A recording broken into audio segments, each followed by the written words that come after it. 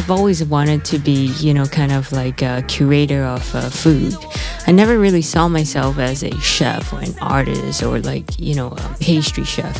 I think um, this title of curating uh, curator of foods, it's um, it's it's very vast. So you can use like from mushrooms to chocolate to anything you want, and there are no limits.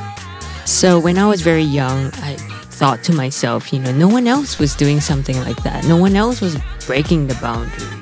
And I think the inspiration came because, you know, in life you have a lot of restrictions. You go to a gallery, you see an art piece, you stand far away from it. Sometimes there are cupos, you know, and you can't go up to it, smell it, or taste it. You, you can't really feel what the artist was trying to do. So I started to think again about everything in life and decided, you know, about these five sense experience of art. It's important, I think, for people to have fun and enjoy.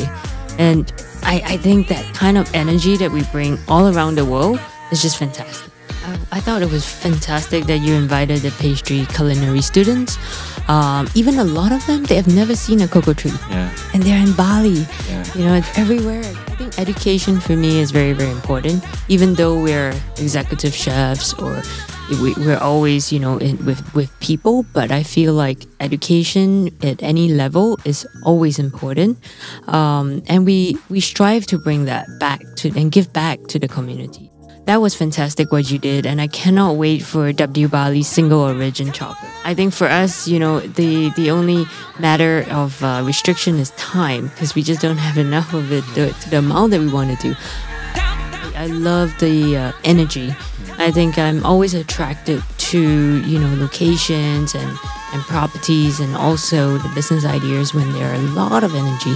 And W properties give a lot of that. You know, it's quirky, it's fun, um, but you know, it, you have your five six star experience here too. You have high quality service and hospitality, but uh, beyond that, you know, there are always elements of surprises everywhere. You know, and and for me, it's five senses, right? So Yeah. W checks off all the boxes.